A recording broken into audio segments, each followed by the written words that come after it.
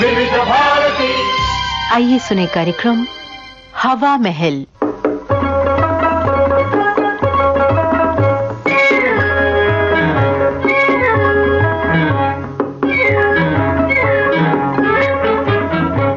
आज हवा महल में सुनिए मुमताज़ शकेब की लिखी झलकी दर्द का हद से गुजर जाना। निर्देशक मदन शर्मा।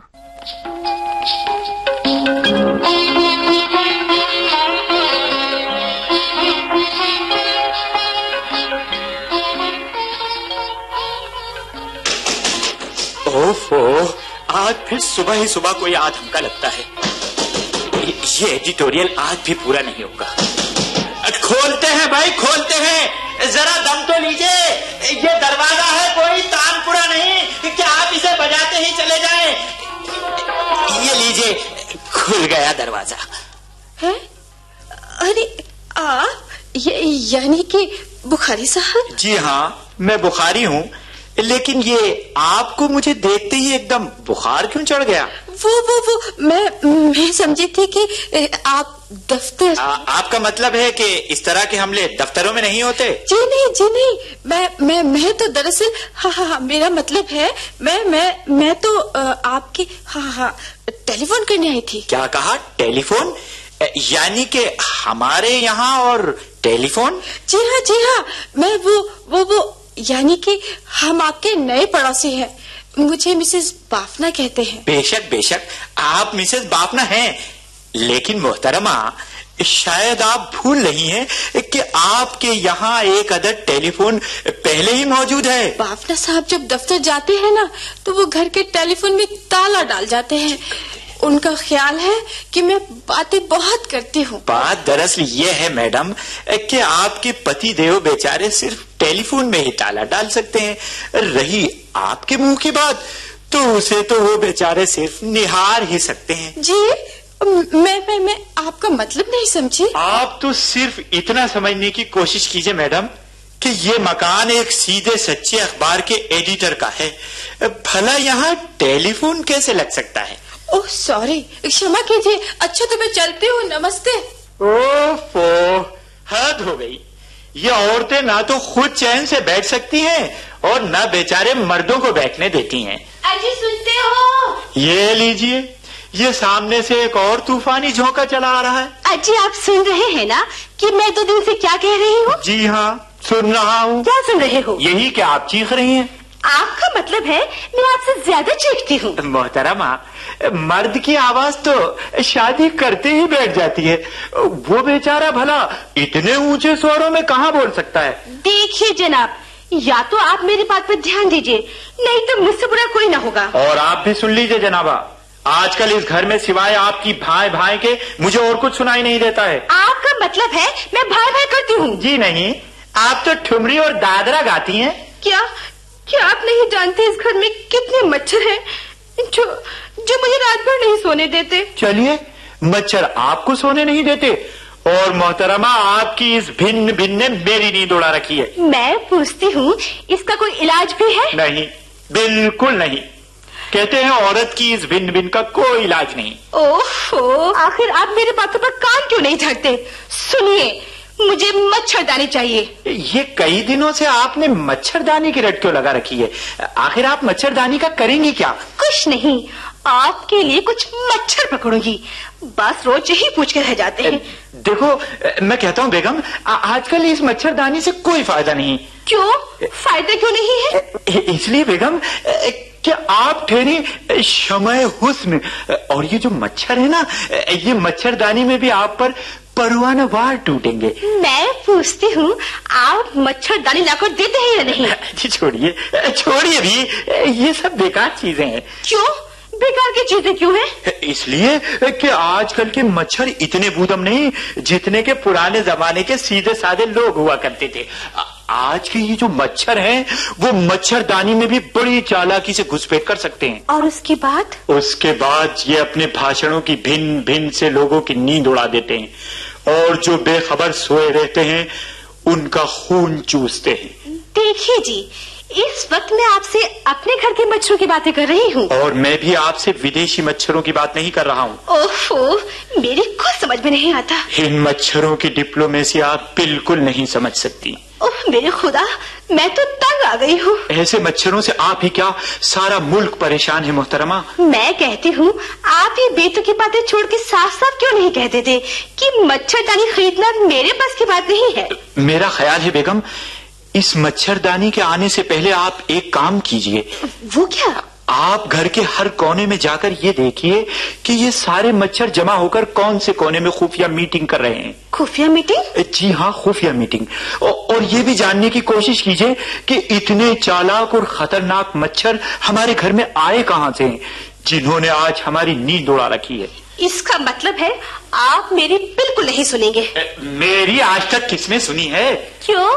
आप तो कहते हैं मैं बोलता ही नहीं हूँ। किसने कहा? मैं नहीं बोलता। जिस दिन से हाथ में ये कलम लिया है, उसी दिन से चोर बाजारी, जखीरा अंदोजी, मिलावट, महँगाई, रिश्वत सतानी और इस गुंडागर्दी के खिलाफ बराबर बोल रहा हूँ। लेकिन लफ्जों की सच्चाई के जितने चराग जला रहा हूँ, झूठ और दगाबाजी का अंधेरा उतना ही पड़ रहा है। चीखते चीखते मेरी जबान सूख गई। लेकिन ये झूठे, फरेबी और धांधलेबाज लोग बराबर फूलते जा रहे हैं। ये सब तुम्हारी अपनी कमज़ोरी है बुखारी। वरना तुम भी आज फूल कर कुप्पा हो गए हो कौन? हरिहर तुम? हाँ मैं हूँ तुम्हारा जिगरी दोस्त हरिहर परवाना। देख लीजिए सितारा बेगम मैं कह रहा था ना कि आजकल ऐसे ही घटिया किस्म के मच्छर अपने आप को परवाना कहते हैं।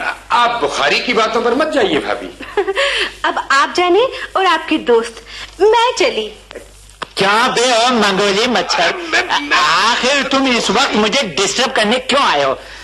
देखो भाई बुखारी मैं इस वक्त तुम्हारे घर में यानी कि दूध दही और घी की नदियाँ बहाने की तरकीब बताने आया हूँ। क्या मतलब? भाई मतलब ये कि मैं तुम्हारा दोस्त हूँ इसलिए तुम्हारे वास्ते एक अदद भैंस का इंतज़ाम करके आया हूँ। अमा तुम भैंस पाल लो। अबे परवाने मुझसे एक अदद बीवी नहीं पल रही है तुम भैंस की बात करते हो? लेकिन मैं तुमसे दूध देने वाली भैंस की बात कर रहा हूँ। मगर ऐसी भैंस तुम कहाँ से ला कर दोगे? भैंसाराम के यहाँ से। भैंसाराम? हाँ हाँ वही दूध दही और खोए वाले भैंसाराम जिसकी बेटी कथक कली से मैं मैं प्यार करता हूँ। अबे ओ परवाने मैं कहता हूँ पहले जाके अपनी सेहत बनाओ बेटा। इश्क में आजकल कुश्ती भी लड़नी पड़ती है। तारीख गवाह है बुखारी कि मजनू और फरहत की भी कोई खास सेहत नहीं थी। शायद इसीलिए तुम्हारी आज पूरी नस्ल सेहत के मामले में मजनू नज़र आती है। आ, मैं कहता हूँ बुखारी कि मैं कथक कली के बिना ज़िंदा नहीं रह सकता। हाय। ज़िंदा तो आप उस वक्त भी नहीं रहेंगे बरखुरदार जिस दिन कथक कली के बाप को आपकी इस इश्क का पता चलेगा। वो तो आजकल मुझ पर लट्टू हो रहा है अच्छा अच्छा ठीक है हो रहा होगा लट्टू। लेकिन देखो यार इस वक्त मुझे बहुत ज़रूरी काम है। इस वक्त मुझे परेशान मत करो जाओ। आ- चलो फूटो यार जाओ यार, यार। बुखारी सुनो। ओहो, सुनो तो यार। कल जब मैंने कथक कली के बाप के सामने अपनी एक नज्म सुनाई तो जानते हो भैंसाराम क्या बोला? यही कि भैंस के आगे अब और बीन मत बजाओ। आ, नहीं बुखारी नहीं। बल्कि उसने कहा कि कल सवेरे यही नज्म मेरी भैंसों के बारे में आकर सुनाना। और आज सुबह जब मैं उसके बारे में अपनी ये नज्म सुना रहा था तो वो अपनी भूरी भूरी भैंस का दूध झूम झूम कर निकाल रहा था। और तुम बराबर उसके सामने अपनी बीन बजा रहे थे। नहीं बुखारी नहीं। आ, अर्ज़ किया है वो मेरी नज्म सुनते ही एक तरफ़ रख के बाल्टी दूध, मुझसे बोला बड़ी मोहब्बत से, परवाने तुम सौ फ़ीसदी, काम के एक अजीम शायर हो। और ये कहकर ये कहकर उसने मेरा मुँह, अब मेरा मुँह चूम लिया। और उसके बाद यकीनन उसको उल्टी हो गई। हरगिज नहीं यार हरगिज नहीं। बल्कि भैंसाराम ने खुश होकर कहा कि आज उसकी भैंस ने पूरे एक महीने के बाद सत्रह किलो दूध दिया है। क्या मतलब? भाई भैंसाराम का कहना है कि अगर आदमी के बजाय भैंसों को नज्म या गज़ल सुनाई जाए तो खाली दाद ही नहीं बल्कि ज़्यादा से ज़्यादा दूध भी दे सकती है। अच्छा देखो परवाने तुम बहुत हिनहिना लिए। तुमने मुझे बहुत परेशान कर दिया। अब तुम यहाँ से चले जाओ। बुखारी साहब दफ़ा हो जाओ यहाँ से। बुखारी साहब ने- चलो।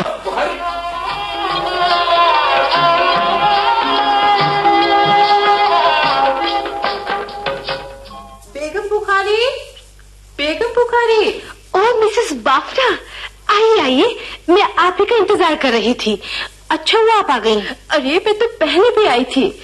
लेकिन यहाँ आपके वो बाय गॉड आपके वो तो बहुत तीखे हैं बेगम बुखारी। मेरे तो उनके सामने छक्के ही छूट गए। देख लिया ना आपने? एक तो पति और दूसरे जर्नलिस्ट। यानी कि करेला और वो भी नीम चढ़ा। बाय गॉड ये इंटेलेक्चुअल पति बहुत ही खतरनाक होते हैं मिसेस बुखारी मिसेस बाफ्रा आप मुझे तो कोई और नई तरकीब बताइए। इस तरकीब से तो उनके कानून पर जू भी नहीं रेंगती अरे आप हिम्मत न हारिए, मिसेस बुखारी, यही तरकीब इस्तेमाल कीजिए, यानी कि रोज दबाकर एक फरमाइश करती जाएँ। इसी तरह ऐसे मर्दों में घरेलू ज़िम्मेदारी का एहसास पैदा होता है लेकिन लेकिन मिसेस लेकिन लेकिन कुछ नहीं मिसेस बुखारी। अगर आपको अपने पति महाशय को अपनी उंगलियों पर नचाना है तो हिम्मत से काम लेकर इसी तरकीब नंबर दो से नाक में नकेल डाल दीजिए। बहुत खूब श्रीमती जी बहुत खूब। अरे आप फिर आ गए? यानी ये आप हैं। तो ये है वो बाहर का जहरीला झोंका। जो आजकल हमारे घर में हवा खराब कर रहा है। अच्छा तो मैं चलती हूँ मिसेस बुखारी। अरे अरे सुनिए तो मिसेस बाफना मेरी बात तो सुनिए। अब समझा चाहे घर हो या देश दोनों का अमन चैन बर्बाद होने की वजह क्या है? बाहर के लोगों की दखल अंदाजी ही घर और मुल्क के अमन चैन को बर्बाद करती है। ठीक है मैं सबसे पहले ऐसे ही खतरनाक मच्छरों की खबर लूँगा जो अपने घर की मच्छरदानी में छेद करने पर तुले हुए हैं। अरे अरे आप कहा जा रहे हैं? मिस्टर बाफना के दफ्तर। वहाँ किस लिए? उनसे ये कहने के लिए कि ताला सिर्फ़ टेलीफोन में नहीं अपनी श्रीमती के मुँह में भी डालकर जाया कीजिए। अरे सुनिए।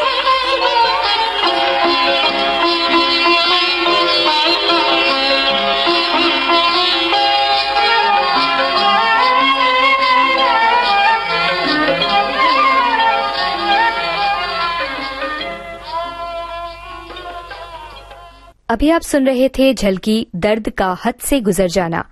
लेखक मुमताज़ शकीब, निर्देशक मदन शर्मा। ये आकाशवाणी जयपुर की प्रस्तुति थी।